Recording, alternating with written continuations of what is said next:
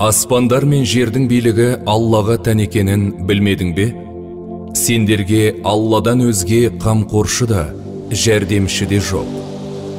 Ол аспандар мен жерді жоқтан бар етуші әл бадих егер бір нәрсенің болуын қаласа онда тек қана оған бол дейді.